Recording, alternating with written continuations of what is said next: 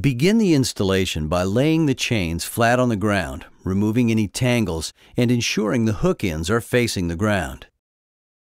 Starting with the red end of the cable, slide the cable and chain behind the tire until the cable is centered behind the tire.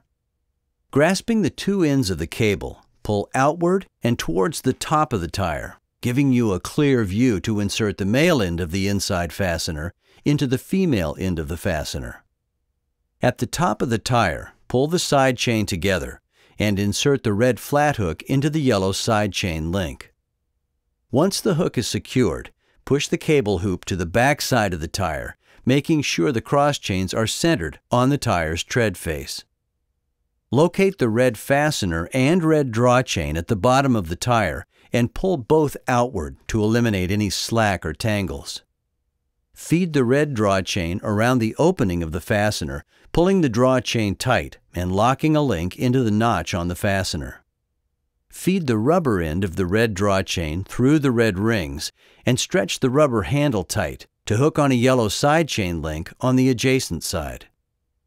Depending on your tire, it may not be possible to use both red rings when tightening the chain, but it's recommended to use both when possible.